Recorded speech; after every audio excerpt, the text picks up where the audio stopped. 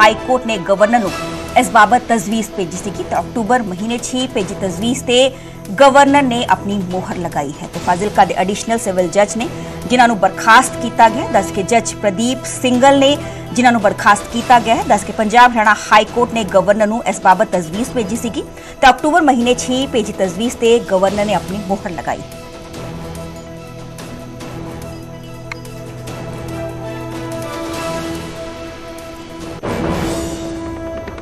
ਹੁਣ ਗੱਲ ਕਰਾਂਗੇ ਪੰਜਾਬ ਕਾਂਗਰਸ ਦੇ। ਦੇਵੇਂਦਰ ਯਾਦਵ ਹੋਣਗੇ ਪੰਜਾਬ ਕਾਂਗਰਸ ਦੇ ਨਵੇਂ ਇੰਚਾਰਜ। ਦੱਸਦੇ ਕਿ ਹਰੀਸ਼ ਚੌਧਰੀ ਦੀ ਇੰਚਾਰਜ ਵਜੋਂ ਛੁੱਟੀ ਕਰ ਦਿੱਤੀ ਗਈ ਹੈ।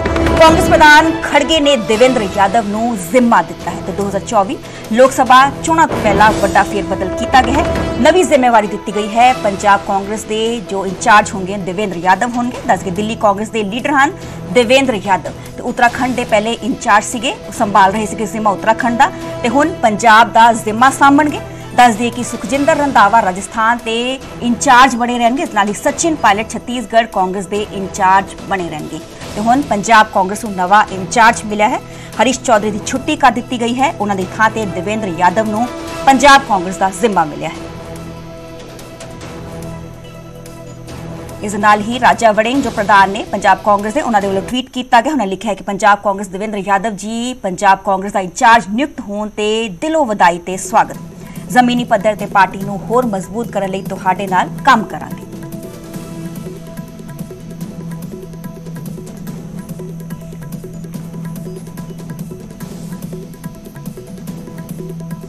ਭਾਰਤ ਪਾਕਿਸਤਾਨ ਸਰਹੱਦ ਤੋਂ ਸੁਪਰ ਐਕਸਕਲੂਸਿਵ ਰਿਪੋਰਟ ਸਾਹਮਣੇ ਆਈ ਹੈ। ਦੱਸ ਕੇ ਜੰਮੂ ਦੇ ਅਖਨੂਰ ਚ ਗਰਾਊਂਡ ਜ਼ੀਰੋ ਤੋਂ ਨਿਊਜ਼ 18 ਦੀ ਰਿਪੋਰਟ ਹੈ। ਖਾਸ ਰਿਪੋਰਟ ਹੈ ਕਿਵੇਂ ਅਖਨੂਰ ਦੇ ਖੌਰਚ ਅਤਵਾਦੀਆਂ ਨੇ ਘੁਸਪੈਠ ਦੀ ਕੋਸ਼ਿਸ਼ ਕੀਤੀ। ਨਿਊਜ਼ 18 ਦੀ ਟੀਮ ਨੇ ਮੌਕੇ ਦੇ ਹਾਲਾਤ ਦਾ ਜਾਇਜ਼ਾ ਲਿਆ। ਇਸ ਨਾਲ ਹੀ ਫੌਜ ਨੇ ਕਿਵੇਂ ਇਸ ਘੁਸਪੈਠ ਨੂੰ ਨਾਕਾਮ ਕੀਤਾ ਤੇ ਇਸ ਨਾਲ ਹੀ ਫੌਜ ਨੇ ਕਿਸ ਥਾਂ ਤੇ ਦਹਿਸ਼ਤਗਰਦ ਢੇਰ ਕੀਤੇ ਦਰਸਲ ਭਾਰਤੀ ਸੈਨਾ ਨੇ ਜੰਮੂ ਜ਼ਿਲ੍ਹੇ ਦੇ ਅਖਨੂਰ ਦੇ ਖੌਰਚ ਸਰਹੱਦ ਦੇ ਨਾਲ ਘੁਸਪੈਠ ਦੀ ਇੱਕ ਵੱਡੀ ਕੋਸ਼ਿਸ਼ ਨੂੰ ਨਾਕਾਮ ਕਰ ਦਿੱਤਾ ਸੀਗਾ ਤੇ ਚਾਰ ਅਤਵਾਦੀਆਂ ਦਾ ਇੱਕ ਗਰੁੱਪ ਭਾਰਤ 'ਚ ਘੁਸਪੈਠ ਕਰਨ ਦੀ ਕੋਸ਼ਿਸ਼ ਕਰ ਰਿਹਾ ਸੀਗਾ ਪਰ ਫੌਜ ਨੇ ਇਸ ਕੋਸ਼ਿਸ਼ ਨੂੰ ਨਾਕਾਮ ਕਰ ਦਿੱਤਾ ਜਿਸ 'ਚ ਇੱਕ ਅਤਵਾਦੀ ਮਾਰਿਆ ਗਿਆ ਅਤੇ ਦੂਜੇ ਅਤਵਾਦੀਆਂ ਨੇ ਉਸ ਦੀ ਲਾਸ਼ ਨੂੰ ਪਾਕਿਸਤਾਨ ਵੱਲ ਖਿੱਚ ਲਿਆ ਗੋਲੀਬਾਰੀ ਪੂਰੀ ਰਾਤ ਚੱਲੀ ਇਸ ਤੋਂ ਬਾਅਦ ਪਾਕਿਸਤਾਨ ਨੇ ਧਿਆਨ ਭਟਕਾਉਣ ਲਈ ਆਪਣੇ ਪਾਸੇ ਦੀਆਂ ਝਾੜੀਆਂ ਨੂੰ ਅੱਗ ਲਗਾ ਦਿੱਤੀ ਤੇ ਮੌਕੇ ਦੀਆਂ ਤਸਵੀਰਾਂ ਤੁਸੀਂ ਵੇਖ ਪਾ ਰਹੇ ਹੋ ਹਾਲਾਂਕਿ ਅੱਜ ਉਹ ਤਸਵੀਰਾਂ ਨੇ ਕਲੀਅਰ ਨਹੀਂ ਨੇ ਪਰ ਇੰਨਾ ਸਮਝਣ ਲਈ ਕਾਫੀ ਨੇ ਕਿ ਕਿਵੇਂ ਇੱਕ ਘੁਸਪੈਠੀਏ ਦੇ ਵੱਲੋਂ ਕੋਸ਼ਿਸ਼ ਕੀਤੀ ਜਾ ਰਹੀ ਸੀ ਕਿ ਸਰਹੱਦ ਪਾਰ ਕਰਨ ਦੀ ਇਸੇ ਦੇ ਵਿਚਾਲੇ ਇਸ ਕੋਸ਼ਿਸ਼ ਨੂੰ ਨਾਕਾਮ ਕੀਤਾ ਗਿਆ ਨਿਊਜ਼ 18 ਦੀ ਟੀਮ ਤੁਹਾਨੂੰ ਇਸ ਵਕਤ ਖੋੜ ਦੇ ਉਸ ਇਲਾਕੇ 'ਚ ਲੈ ਕੇ ਆਈ ਹੈ ਜਿੱਥੇ ਭਾਰਤੀ ਸੈਨਾ ਨੇ ਪਾਕਿਸਤਾਨ ਦੀ ਤਰਫੋਂ ਇੱਕ ਘੁਸਪੈਠ ਦੀ ਕੋਸ਼ਿਸ਼ ਨੂੰ ਨਾਕਾਮਯਾਬ ਕੀਤਾ ਦੋ ਪਾਕਿਸਤਾਨੀ ਘੁਸਪੈਠੀਏ ਮਾਰ ਗਿਰਾਏ ਗਏ ਹਨ ਤੇ ਇਸ ਵਕਤ ਤੁਸੀਂ ਦੇਖ ਸਕਦੇ ਹੋ ਕਿ ਭਾਰਤੀ ਸੈਨਾ ਦੇ ਇਹ ਉਹ ਜਾਂਬਾਜ਼ ਜਵਾਨ ਹੈਗੇ ਜਿਹੜੇ ਖੋੜ ਸੈਕਟਰ ਵਿੱਚ ਇੰਟਰਨੈਸ਼ਨਲ ਬਾਰਡਰ ਦੇ ਲਾਗੇ ਪਾਕਿਸਤਾਨ ਦੀ ਤਰਫੋਂ ਹੋ ਰਹੀ ਘੁਸਪੈਠ ਨੂੰ ਕਰਾਰਾ ਜਵਾਬ ਦੇਣ ਲਈ ਇੱਥੇ ਬਿਲਕੁਲ ਮੁਸਤੈਦ ਹੈਗੇ। ਇਹ ਉਹ ਜਗ੍ਹਾ ਹੈ ਜ- ਇੱਥੋਂ ਕੁਝ ਹੀ ਮੀਟਰ ਦੂਰ ਉਹ ਜਗ੍ਹਾ ਹੈ ਜਿੱਥੋਂ ਪਾਕਿਸਤਾਨ ਨੇ ਚਾਰ ਆਤੰਕਵਾਦੀਆਂ ਨੂੰ ਭਾਰਤੀ ਸੀਮਾ ਵਿੱਚ ਘੁਸਪੈਠ ਕਰਾਉਣ ਦੀ ਕੋਸ਼ਿਸ਼ ਕੀਤੀ ਹੈ। ਤੁਸੀਂ ਦੇਖੋ ਕਿ ਇਸ ਵਕਤ ਇੱਥੇ ਪੂਰਾ ਭਾਰਤੀ ਸੈਨਾ ਮੁਸਤੈਦ ਹੈਗੀ। ਇਹ ਜਵਾਨ ਮੁਸਤੈਦ ਹੈਗੇ। ਕਿਸੇ ਵੀ ਪਾਕਿਸਤਾਨ ਦੀ ਤਰਫੋਂ ਕੋਸ਼ਿਸ਼ ਨੂੰ ਵਿਫਲ ਕਰਨ ਲਈ ਪਾਕਿਸਤਾਨ ਨੇ ਅੱਜ ਤੜਕੇ ਹੀ ਚਾਰ ਆਤੰਕਵਾਦੀਆਂ ਨੂੰ ਭਾਰਤੀ ਸੀਮਾ ਵਿੱਚ ਘੁਸਾ- ਘੁਸਪੈਠ ਕਰਨ ਦੀ ਸਾਜ਼ਿਸ਼ ਰਚੀ, ਲੇਕਿਨ ਉਹਦੇ ਬਾਅਦ ਜਦੋਂ ਭਾਰਤੀ ਸੈਨਾ ਦੀ ਇਕਵਿਪਮੈਂਟ ਨੇ ਉਸ ਚੀਜ਼ ਨੂੰ ਨੋਟਿਸ ਕੀਤਾ, ਭਾਰਤੀ ਸੈਨਾ ਨੇ ਜਵਾਬੀ ਕਾਰਵਾਈ ਕੀਤੀ, ਉਸ ਉਸ ਗਰੁੱਪ ਤੇ ਜਿਹੜਾ ਇਨਫਿਲਟ੍ਰੇਸ਼ਨ ਕਰਨ ਦੀ ਕੋਸ਼ਿਸ਼ ਕਰ ਰਿਹਾ ਸੀਗਾ, ਤੇ ਚਾਰ ਘੁਸਪੈਠੀਏ ਜਦੋਂ ਦੇਖੇ ਗਏ, ਤੇ ਭਾਰਤੀ ਸੈਨਾ ਨੇ ਉਹਨਾਂ ਤੇ ਕਾਰਵਾਈ ਕੀਤੀ, ਦੋ ਘੁਸਪੈਠੀਆਂ ਨੂੰ ਭਾਰਤੀ ਸੈਨਾ ਨੇ ਮਾਰ ਗਿਰਾਇਆ। ਪਾਕਿਸਤਾਨ ਦੀ ਤਰਫੋਂ ਜੰਮੂ ਕਸ਼ਮੀਰ ਵਿੱਚ ਹਾਲਾਤ ਖਰਾਬ ਕਰਨ ਦੀ ਸਾਜ਼ਿਸ਼ ਹਮੇਸ਼ਾ ਤੋਂ ਰਚੀ ਜਾ ਰਹੀ ਹੈ। ਲੇਕਿਨ ਭਾਰਤੀ ਸੈਨਾ ਇੰਨੀ ਮੁਸਤੈਦ ਹੈਗੀ ਕਿ ਕਿਸੇ ਵੀ ਤਰ੍ਹਾਂ ਦੇ ਪਾਕਿਸਤਾਨ ਦੀ ਨਾਪਾਕ ਹਰਕਤ ਨੂੰ ਵਿਫਲ ਕਰਨ ਲਈ ਬਿਲਕੁਲ ਤਿਆਰ ਹੈਗੇ। ਇਹ ਉਹ ਜਾਂਬਾਜ਼ ਸਿਪਾਹੀ ਹੈਗੇ ਜਿਹੜੇ ਆਪਣੀ ਸੀਨੇ ਤੇ ਗੋਲੀ ਖਾਣ ਨੂੰ ਤਿਆਰ ਹਨ। ਲੇਕਿਨ ਇਹਨਾਂ ਦੀ ਹਮੇਸ਼ਾ ਇਹ ਕੋਸ਼ਿਸ਼ ਹੈ ਕਿ ਪਾਕਿਸਤਾਨ ਦੇ ਜਿਹੜੇ ਨਾਪਾਕ ਮਨਸੂਬੇ ਹੈਗੇ, ਜੰਮੂ ਕਸ਼ਮੀਰ ਵਿੱਚ ਸਿਵਲੀਅਨ ਨੂੰ ਟਾਰਗੇਟ ਕਰਨ ਦੇ, ਪਾਕਿਸਤਾਨ ਦੀ ਤਰਫੋਂ ਆਤੰਕਵਾਦੀਆਂ ਨੂੰ ਭੇਜ ਕੇ ਜੰਮੂ ਕਸ਼ਮੀਰ ਵਿੱਚ ਹਾਲਾਤ ਖਰਾਬ ਕਰਨ ਦੀ ਸਾਰੀ ਸਾਜ਼ਿਸ਼ ਨੂੰ ਇਹ ਜਵਾਨ ਭਾਰਤੀ ਸੈਨਾ ਦੇ ਵਿਫਲ ਕਰਦੇ ਪਏ ਨੇ। ਇੱਥੇ ਤੁਸੀਂ ਦੇਖ ਸਕਦੇ ਹੋ ਕਿ ਇੰਨੀ ਇੱਥੇ ਐਂਬੂਸ਼ ਲਗਾ ਕੇ ਬੈਠੇ ਹੋਏ ਨੇ ਕਿ ਅਗਰ ਕੋਈ ਘੁਸਪੈਠ ਕਰਨ ਦੀ ਫਿਰ ਤੋਂ ਸਾਜ਼ਿਸ਼ ਰਚੇ ਤੇ ਉਹਨੂੰ ਵੀ ਉਹਦੀ ਜਿਹੜਾ ਮੁਕਾਮ ਹੈ, ਮੌਤ ਦਾ ਉਹਦੇ ਹਵਾਲੇ ਕਰ ਦਿੱਤਾ ਜਾਏ। ਤੁਸੀਂ ਦੇਖੋ ਕਿ ਕਿਸ ਤਰ੍ਹਾਂ ਦੇ ਮੁਸ਼ਕਿਲ ਹਾਲਾਤ ਹੈਗੇ ਨਾ ਸਰਕੰਡਿਆਂ ਵਿੱਚ, ਲੇਕਿਨ ਭਾਰਤੀ ਸੈਨਾ ਮੁਸਤੈਦ ਹੈਗੀ ਤੇ ਕਿਸੇ ਵੀ ਤਰ੍ਹਾਂ ਦੀ ਨਾਪਾਕ ਹਰਕਤ ਜੋ ਪਾਕਿਸਤਾਨ ਦੀ ਤਰਫੋਂ ਕੀਤੀ ਜਾ ਰਹੀ ਹੈ, ਉਹਨੂੰ ਵਿਫਲ ਕਰਨ ਲਈ ਤਿਆਰ ਹੈਗੇ। ਭਾਰਤੀ ਸੁਰੱਖਿਆ ਏਜੰਸੀਆਂ ਨੂੰ ਇਨਫੋਰਮੇਸ਼ਨ ਮਿਲੀ ਦੀ ਹੈ ਕਿ ਸੀਮਾ ਦੀ ਉਸ ਤਰਫ ਕਈ ਲਾਂਚ ਪੈਡਸ ਨੂੰ ਪਾਕਿਸਤਾਨ ਨੇ ਐਕਟੀਵੇਟ ਕਰ ਦਿੱਤਾ ਹੈ। ਉੱਥੇ ਕਈ ਘੁਸਪੈਠੀਏ ਬਿਲਕੁਲ ਤਿਆਰ ਬੈਠੇ ਹੋਏ ਹਨ ਭਾਰੀ ਮਾਤਰਾ ਵਿੱਚ ਹਥਿਆਰ ਤੇ ਗੋਲਾ ਬਾਰੂਦ ਰਹਿ ਕੇ ਕਿ ਕਿਸੇ ਤਰੀਕੇ ਭਾਰਤੀ ਸੀਮਾ ਵਿੱਚ ਘੁਸਪੈਠ ਕਰ ਲੈਣ। ਲੇਕਿਨ ਭਾਰਤੀ ਸੈਨਾ ਨੇ ਹਰ ਵਾਰ ਪਾਕਿਸਤਾਨ ਦੇ ਉਸ ਨਾਪਾਕ ਮਨਸੂਬੇ ਨੂੰ ਵਿਫਲ ਕੀਤਾ। ਭਾਰਤੀ ਸੈਨਾ ਦੇ ਉਹ ਜਾਂਬਾਜ਼ ਸਿਪਾਹੀ ਹੈਗੇ ਜਿਨ੍ਹਾਂ ਨੇ ਪਾਕਿਸਤਾਨ ਦੇ ਉਸ ਨਾਪਾਕ ਮਨਸੂਬੇ ਨੂੰ ਵਿਫਲ ਕੀਤਾ, ਜਿੱਥੇ ਪਾਕਿਸਤਾਨ ਨੇ ਚਾਰ ਦਹਿਸ਼ਤਗਰਦਾਂ ਨੂੰ ਭਾਰਤੀ ਸੀਮਾ ਵਿੱਚ ਘੁਸਪੈਠ ਕਰਾਉਣ ਦੀ ਕੋਸ਼ਿਸ਼ ਕੀਤੀ ਸੀ। ਦੋ ਆਤੰਕਵਾਦੀਆਂ ਨੂੰ ਭਾਰਤੀ ਸੈਨਾ ਨੇ ਉਸੇ ਵਕਤ ਮਾਰ ਗਿਰਾਇਆ, ਜਿਹੜੀ ਸਾਨੂੰ ਜਾਣਕਾਰੀ ਮਿਲੀ ਹੈ। ਭਾਰਤੀ ਸੈਨਾ ਨੇ ਜਦੋਂ ਨੋਟਿਸ ਕੀਤਾ ਕਿ ਦੋ ਆਤੰਕਵਾਦੀ, ਚਾਰ ਆਤੰਕਵਾਦੀਆਂ ਦਾ ਇੱਕ ਟੋਲਾ ਭਾਰਤੀ ਸੀਮਾ ਵਿੱਚ ਘੁਸਪੈਠ ਕਰਨ ਦੀ ਕੋਸ਼ਿਸ਼ ਕਰ ਰਿਹਾ ਸੀ, ਉਹਦੇ ਬਾਅਦ ਹੀ ਭਾਰਤੀ ਸੈਨਾ ਨੇ ਇਹਨਾਂ ਜਾਂਬਾਜ਼ ਸਿਪਾਹੀਆਂ ਨੇ ਆਪਣੇ ਬੰਦੂਕ ਦੀ ਨਲੀਆਂ ਖੋਲ ਦਿੱਤੀਆਂ, ਜਿਨ੍ਹਾਂ ਦੇ ਪਾਕਿਸਤਾਨ ਦੇ ਆਤੰਕਵਾਦੀਆਂ ਨੂੰ ਇੱਕ ਕਰਾਰਾ ਜਵਾਬ ਮਿਲਿਆ।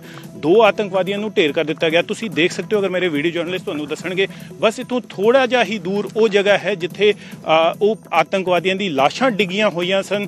ਇਹ ਸਰਕੰਡੇ, ਤੁਸੀਂ ਦੇਖੋ ਕਿ ਇਹਨਾਂ ਸਰਕੰਡਿਆਂ ਨੂੰ ਦਾ ਸਹਾਰਾ ਲੈ ਕੇ ਆਤੰਕਵਾਦੀ ਭਾਰਤੀ ਸੀਮਾ ਵਿੱਚ ਘੁਸਪੈਠ ਕਰਨ ਦੀ ਸਾਜ਼ਿਸ਼ ਕਰ ਰਹੇ ਸੀ, ਲੇਕਿਨ ਭਾਰਤੀ ਸੈਨਾ ਦੇ ਇਹ ਉਹ ਜਾਂਬਾਜ਼ ਸਿਪਾਹੀ ਹਨ ਜਿਨ੍ਹਾਂ ਨੇ ਆਪਣੀ ਸੁਰੱਖਿਆ ਦੀ ਕੋਈ ਇਹਨਾਂ ਨੇ, ਪਰ ਇਹ ਉਹਦੀ ਸੰਭਾਲ ਨਹੀਂ ਕੀਤੀ, ਲੇਕਿਨ ਇਹਨਾਂ ਨੇ ਇਹ ਸੁਨਿਸ਼ਚਿਤ ਕੀਤਾ ਕਿ ਪਾਕਿਸਤਾਨ ਦੀ ਉਹ ਨਾਪਾਕ ਹਰਕਤ ਨੂੰ ਸਫਲ ਕੀਤਾ ਜਾਏ, ਇਹ ਬੇਸ਼ੱਕ ਆਪਣੇ ਪਰਿਵਾਰ ਤੋਂ ਦੂਰ ਹਨ, ਲੇਕਿਨ ਭਾਰਤ ਦੀ ਜਿੰਨੀ ਆਬਾਦੀ ਹੈ, ਉਹਨੂੰ ਨੂੰ ਆਪਣਾ ਪਰਿਵਾਰ ਸਮਝਦੇ ਨੇ ਤੇ ਦਿਨ ਹੋਵੇ, ਰਾਤ ਹੋਵੇ, ਧੁੱਪ ਹੋਵੇ, ਬਾਰਿਸ਼ ਹੋਵੇ, ਇਹ ਇਸ ਸੀਮਾ ਨੂੰ ਭਾਰਤੀ ਜਿਹੜੀ ਸਰਜ਼ਮੀਨ ਦੀ ਸੀਮਾ ਹੈ, ਉਹਦੀ ਸੁਰੱਖਿਆ ਲਈ 24 ਘੰਟੇ ਚਾਕ ਚੌਬੰਦ ਇੱਥੇ ਹੈਗੇ।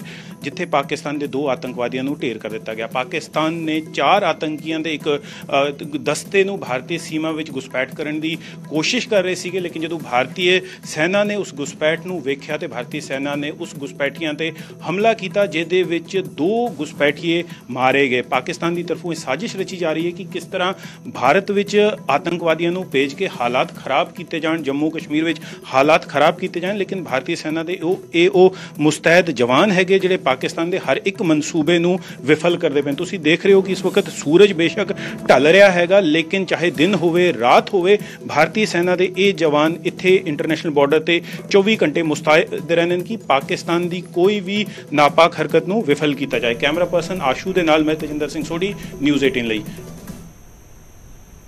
ਪੰਜਾਬ ਯੂਨੀਵਰਸਿਟੀ ਤੇ ਉਪ ਰਾਸ਼ਟਰਪਤੀ ਤੇ ਬਿਆਨ ਨਾਲ ਸਿਆਸਤ ਗਰਮਾ ਗਈ। ਇਸ ਵਿੱਚ ਉਪ ਰਾਸ਼ਟਰਪਤੀ ਦੀ ਸਲਾਹ ਤੇ ਆਮ ਆਦਮੀ ਪਾਰਟੀ ਨੂੰ ਇਤਰਾਜ਼ ਹੈ। ਆਮ ਆਦਮੀ ਪਾਰਟੀ ਨੇ ਕਿਹਾ ਹੈ ਕਿ ਬਤੌਰ ਚਾਂਸਲਰ ਰਾਜਨੀਤੀ ਨਾ ਕਰਨ ਧਨਖੜ ਬੀਜੇਪੀ ਲੀਡਰ ਦੀ ਤਰ੍ਹਾਂ ਵਿਹਾਰ ਨਾ ਕੀਤਾ ਜਾਏ। ਕਿ ਪੰਜਾਬ ਬੀਜੇਪੀ ਬਿਆਨ ਦਾ ਵਿਰੋਧ ਕਰੇਗੀ? ਉਪ ਰਾਸ਼ਟਰਪਤੀ ਨੇ ਦਰਸਲ ਪੀਯੂ ਚ ਦੱਸਿਆ ਸੀਗਾ ਕਿ ਹਰਿਆਣਾ ਦਾ ਹਿੱਸਾ ਹੈ। ਪੰਜਾਬ ਯੂਨੀਵਰਸਿਟੀ ਚ ਗਲੋਬਲ ਐਲੂਮਨਾਈ ਮੀਟ ਚ ਪਹੁੰਚੇ ਸਨ ਜਗਦੀਪ ਧਨਖੜ, ਜਦੋਂ ਕਿ ਉਹਨਾਂ ਦੇ ਵੱਲੋਂ ਆ ਬਿਆਨ ਦਿੱਤਾ ਗਿਆ, ਜਿਸ ਨੂੰ ਲੈ ਕੇ ਆਮ ਆਦਮੀ ਪਾਰਟੀ ਨੂੰ ਇਸ ਤੇ ਕਰੜਾ ਇਤਰਾਜ਼।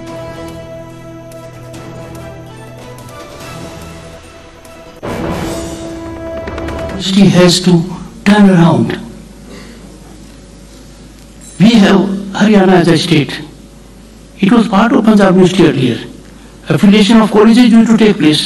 ਜਗਦੀਪ ਧਨਕੜ ਜੀ ਬਤੌਰ ਚਾਂਸਲਰ ਅਸੀਂ ਉਹਨਾਂ ਨੂੰ ਵੀ ਚਾਹਾਂਗੇ ਕਿ ਉਹ ਇਸ ਤਰ੍ਹਾਂ ਦੀ ਰਾਜਨੀਤੀ ਨਾ ਕਰਨ ਉਹ ਦੇਸ਼ ਦੇ ਵਾਈਸ ਪ੍ਰੈਜ਼ੀਡੈਂਟ ਹੈ ਉਹਨਾਂ ਦਾ ਜਿਹੜਾ ਕੰਡਕਟ ਹੈ ਬਤੌਰ ਵਾਈਸ ਪ੍ਰੈਜ਼ੀਡੈਂਟ ਹੀ ਨਜ਼ਰ ਆਉਣਾ ਚਾਹੀਦਾ ਨਾ ਕਿ ਭਾਜਪਾ ਦੇ ਲੀਡਰ ਦੀ ਤਰ੍ਹਾਂ ਪੰਜਾਬ ਯੂਨੀਵਰਸਿਟੀ ਅੰਦਰ ਹਰਿਆਣਾ ਦਾ ਵੀ ਹਿੱਸਾ ਹੋਵੇ ਜੋ ਗੱਲ ਕਹੀ ਜਾ ਰਹੀ ਹੈ ਕਿਉਂਕਿ ਪੰਜਾਬ ਯੂਨੀਵਰਸਿਟੀ ਦਾ ਤਾਲੁਕ ਪੰਜਾਬ ਦੇ ਨਾਲ ਹੀ ਹੈ ਔਰ ਪੰਜਾਬ ਸਰਕਾਰ ਨੂੰ ਉਹਦੇ ਵਿੱਚ ਜੋ ਵੀ ਹਿੱਸਾ ਬਣਦਾ ਜ਼ਰੂਰ ਪਾਉਣਾ ਚਾਹੀਦਾ ਔਰ ਪੰਜਾਬ ਯੂਨੀਵਰਸਿਟੀ ਦੇ ਅਧਿਕਾਰ ਪੰਜਾਬ ਦਾ ਹੀ ਹੈ ਪੰਜਾਬੀਆਂ ਦਾ ਹੀ ਹੈ मैंने तो पहले अपना क्लेम किया ही है कि पंजाब यूनिवर्सिटी में हरियाणा का एक अपना शेयर है कि आपको कोई कठिनाई अगर आती है तो हमारे यहाँ कुरुक्षेत्र विश्वविद्यालय में पंजाब के अगर कॉलेज आके एफिलेट करना चाहते हो तो हम तैयार हैं ਕੇਂਦਰ ਸਰਕਾਰ ਨੇ ਪੰਜਾਬ ਸਰਕਾਰ ਨੂੰ ਇੱਕ ਹੋਰ ਝਟਕਾ ਦਿੱਤਾ ਹੈ। ਦੱਸ ਕੇ ਪੰਜਾਬ ਸਰਕਾਰ ਦੇ ਕਰਜ਼ ਲੈਣ ਦੀ ਸੀਮਾ 'ਚ ਕਟੌਤੀ ਦੀ ਤਿਆਰੀ ਕੀਤੀ ਜਾ ਰਹੀ ਹੈ। ਕੇਂਦਰ ਦੇ ਵੱਲੋਂ ਕਰਜ਼ ਲੈਣ ਦੀ ਸੀਮਾ 'ਚ 2300 ਕਰੋੜ ਰੁਪਏ ਦੀ ਕਟੌਤੀ ਕੀਤੀ ਜਾਏਗੀ। ਕੇਂਦਰ ਸਰਕਾਰ ਨੇ ਪਾਵਰਕੌਮ 'ਚ ਹੋਏ ਘਾਟੇ ਦਾ ਹਵਾਲਾ ਦਿੱਤਾ ਹੈ। ਦੱਸ ਕੇ ਕੇਂਦਰ ਵਿੱਤ ਮੰਤਰਾਲੇ ਨੇ ਘਾਟੇ ਦਾ ਹਵਾਲਾ ਦਿੱਤਾ ਹੈ। ਇਸ ਦੇ ਨਾਲ ਹੀ ਪਾਵਰਕੌਮ ਦੇ ਸਾਲ 2022-23 ਦੇ 4700 ਕਰੋੜ ਰੁਪਏ ਦੇ ਘਾਟੇ ਦਾ ਹਵਾਲਾ ਦਿੱਤਾ ਗਿਆ ਹੈ। ਕੇਂਦਰ ਦੇ ਵੱਲੋਂ ਕੇਂਦਰ ਨੇ ਰਾਜ ਸਰਕਾਰ ਨੂੰ ਨੁਕਸਾਨ ਦਾ 50% ਚੱਲਣ ਲਈ ਕਿਹਾ। ਇਸ ਦੇ ਨਾਲ ਹੀ ਪੰਜਾਬ ਸਰਕਾਰ ਨੇ ਘਾਟੇ ਦੀ ਗਿਣਤੀ, ਜੋ ਵਜ੍ਹਾ ਕੇਂਦਰ ਦੀ ਵਿਦੇਸ਼ੀ ਕੋਲਾ ਖਰੀਦਣ ਲਈ ਬਣਾਈ ਪਾਲਿਸੀ ਕਾਰਨ ਘਾਟਾ ਹੋਇਆ। ਹੈ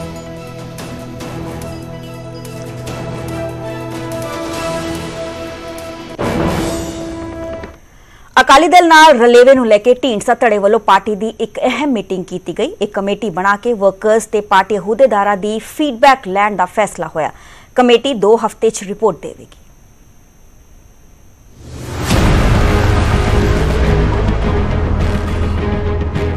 ਢੀਂਡਸਾ ਧੜੇ ਦੀ ਅਕਾਲੀ ਦਲ ਦੇ ਵਿੱਚ ਵਾਪਸੀ ਦਾ ਰਾਹ ਇਹਨਾਂ ਬਿਆਨਾਂ ਦੇ ਨਾਲ ਤਿਆਰ ਹੋਣ ਲੱਗਿਆ ਸੀ।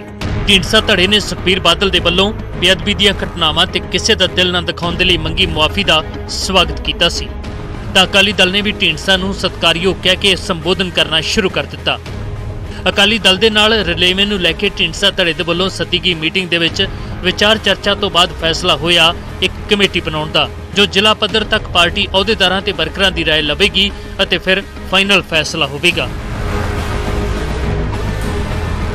ਅੱਜ ਦੀ ਮੀਟਿੰਗ ਸਰਦਾਰ ਸੁਖਦੇਵ ਸਿੰਘ ਢੀਂਡਸਾ ਜੀ ਦੀ ਪ੍ਰਧਾਨਗੀ ਵਿੱਚ ਹੋਈ ਹੈ ਉਹਦੇ ਵਿੱਚ ਸਾਰੇ ਹੀ ਲੀਡਰਸ ਨੇ ਆਪਦੀ ਆਪਦੀ رائے ਦਿੱਤੀ ਹੈ ਉਸ ਤੋਂ ਬਾਅਦ ਇਹ ਫੈਸਲਾ ਹੋਇਆ ਢੀਂਡਸਾ ਸਾਹਿਬ ਨੂੰ ਸਾਰਿਆਂ ਨੇ ਅਧਿਕਾਰ ਦਿੱਤਾ ਕਿ ਉਹ ਕਮੇਟੀ ਬਣਾਉਣ ਅਤੇ ਜਿਹੜੇ ਕੋਈ ਜ਼ਿਲ੍ਹਾ ਲੈਵਲ ਤੇ ਸਾਰੇ ਵਰਕਰ ਸਹਿਬਾਨਾਂ ਦੀ رائے ਲੈ ਕੇ ਉਸ ਮੁਤਾਬਕ ਜਿਹੜੀ ਹੈ ਫਿਰ ਪਾਰਟੀ ਜੋ ਵੀ ਫੈਸਲਾ ਕਰੇਗੀ ਉਹ ਸਭ ਨੂੰ ਪ੍ਰਵਾਨਿਤ ਹੋਏਗਾ ਕਮੇਟੀ ਨੂੰ 2 ਹਫ਼ਤੇ ਦੀ ਡੈਡਲਾਈਨ ਦਿੱਤੀ ਗਈ ਹੈ ਕਿ ਵਰਕਰਾਂ ਦੀ رائے ਲੈ ਕੇ ਰਿਪੋਰਟ ਸੌਂਪੀ ਜਾਵੇ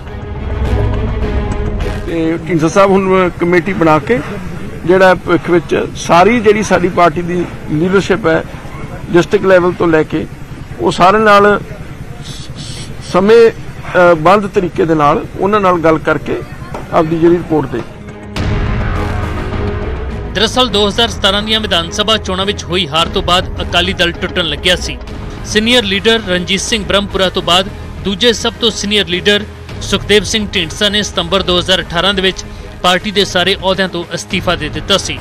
ਅਕਤੂਬਰ 2019 ਦੇ ਵਿੱਚ ਸੁਖਦੇਵ ਸਿੰਘ ਢੀਂਡਸਾ ਨੇ ਰਾਜ ਸਭਾ ਚੋਂ ਵੀ ਅਸਤੀਫਾ ਦੇ ਦਿੱਤਾ ਸੀ। ਫਿਰ 3 ਜਨਵਰੀ 2020 ਨੂੰ ਪਰਮਿੰਦਰ ਸਿੰਘ ਢੀਂਡਸਾ ਨੇ ਵੀ ਅਕਾਲੀ ਦਲ ਨੂੰ ਅਲਵਿਦਾ ਕਹਿ ਦਿੱਤਾ। ਜੁਲਾਈ 2020 ਦੇ ਵਿੱਚ ਸ਼੍ਰੋਮਣੀ ਅਕਾਲੀ ਦਲ ਡੈਮੋਕ੍ਰੈਟਿਕ ਪਾਰਟੀ ਦਾ ਗਠਨ ਹੋਇਆ। ਫਿਰ 17 ਮਈ 2021 ਨੂੰ ਸ਼੍ਰੋਮਣੀ ਅਕਾਲੀ ਦਲ ਡੈਮੋਕ੍ਰੈਟਿਕ ਤੇ ਸ਼੍ਰੋਮਣੀ ਅਕਾਲੀ ਦਲ ਟਕਸਾਲੀ ਦੇ ਰਲੇਵੇਂ ਦੇ ਨਾਲ ਇੱਕ ਨਵੀਂ ਪਾਰਟੀ ਅਕਾਲੀ ਦਲ ਸੰਯੁਕਤ ਬਣਿਆ। 2021 ਦੇ ਵਿੱਚ ਰਣਜੀਤ ਸਿੰਘ ਬ੍ਰਹਮਪੁਰਾ ਨੇ ਅਕਾਲੀ ਦਲ ਦੇ ਵਿੱਚ ਵਾਪਸੀ ਕਰ ਲਈ, ਪਰ ਸੁਖਦੇਵ ਸਿੰਘ ਢੀਂਡਸਾ ਦੇ ਧੜੇ ਨੇ ਬੀਜੇਪੀ ਦੇ ਨਾਲ ਗੱਠਜੋੜ ਕਰ ਲਿਆ। 2022 ਦੀਆਂ ਚੋਣਾਂ ਵਿੱਚ ਨਾ ਸਿਰਫ ਢੀਂਡਸਾ ਧੜਾ ਹਾਰਿਆ, ਬਲਕਿ ਬੀਜੇਪੀ ਨੂੰ ਵੀ ਮਨ ਮੁਤਾਬਕ ਨਤੀਜਾ ਨਹੀਂ ਮਿਲਿਆ। ਅਕਾਲੀ ਦਲ ਵੀ ਸਿਰਫ 3 ਸੀਟਾਂ ਤੇ ਸਿਮਟ ਗਿਆ। ਇਸ ਲਈ ਅਕਾਲੀ ਦਲ ਤੇ ਢੀਂਡਸਾ ਧੜੇ ਦੇ ਲਈ ਇਹ ਰਲੇਵਾਂ ਸਿਆਸੀ ਤੌਰ ਤੇ ਕਿੰਨਾ ਜ਼ਰੂਰੀ ਹੈ, ਕਿੰਨਾ ਅਸਰਦਾਰ ਹੋਵੇਗਾ ਇਸ 24 ਦੀ ਚੋਣ 'ਚ ਪਤਾ ਲੱਗੇਗਾ।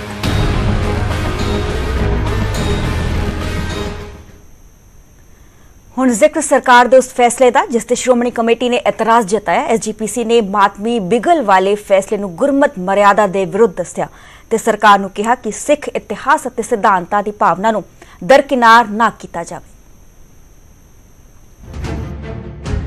ਪੰਜਾਬ ਸਰਕਾਰ ਨੇ ਛੋਟੇ ਸਾਹਿਬਜ਼ਾਦਿਆਂ ਦੀ ਸ਼ਹਾਦਤ ਨੂੰ ਸਮਰਪਿਤ 27 ਦਸੰਬਰ ਨੂੰ ਮਾਤਮੀ ਬਿਗਲ ਵਜਾਉਣ ਦਾ ਫੈਸਲਾ ਲਿਆ, ਤਾਂ ਸ਼੍ਰੋਮਣੀ ਕਮੇਟੀ ਨੇ ਇਸ ਫੈਸਲੇ ਤੇ ਸਖਤ ਇਤਰਾਜ਼ ਜਤਾਇਆ। ਸ਼੍ਰੋਮਣੀ ਕਮੇਟੀ ਦੇ ਪ੍ਰਧਾਨ ਹਰਜਿੰਦਰ ਸਿੰਘ ਧਾਮੀ ਨੇ ਕਿਹਾ ਕਿ ਮਾਤਮੀ ਬਿਗਲ ਦਾ ਫੈਸਲਾ ਗੁਰਮਤ ਮਰਿਆਦਾ ਦੇ ਵਿਰੁੱਧ ਹੈ।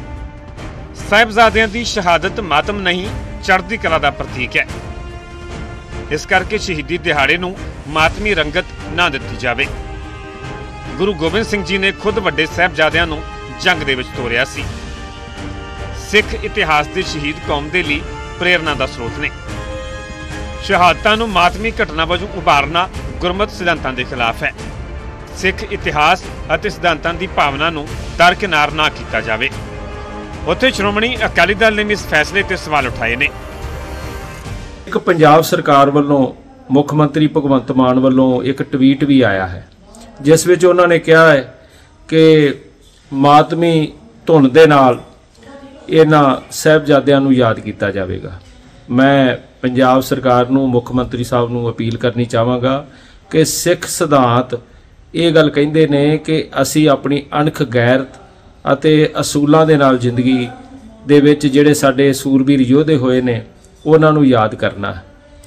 ਤੇ ਕਿਤੇ ਵੀ ਮਾਤਮ ਸ਼ਬਦ ਜਿਹੜਾ ਉਹ ਸਿੱਖੀ ਦੇ ਵਿੱਚ ਨਹੀਂ ਵਰਤਿਆ ਗਿਆ, ਸੋ ਇਹ ਆਪਣੇ ਆਪ ਦੇ ਵਿੱਚ ਇੱਕ ਨਵੀਂ ਪਿਰਤ ਨਾ ਪਾਈ ਜਾਵੇ ਜ਼ਿਕਰਯੋਗ ਹੈ ਕਿ ਸ਼ੁੱਕਰਵਾਰ ਨੂੰ ਸੀਐਮ ਭਗਵੰਤ ਮਾਨ ਦੇ ਵੱਲੋਂ ਸ਼ਹੀਦੀ ਦਿਹਾੜਿਆਂ ਦੇ ਮੱਦੇਨਜ਼ਰ ਫਤਿਹਗੜ੍ਹ ਸਾਹਿਬ ਪ੍ਰਸ਼ਾਸਨ ਦੇ ਨਾਲ ਮੀਟਿੰਗ ਕੀਤੀ ਗਈ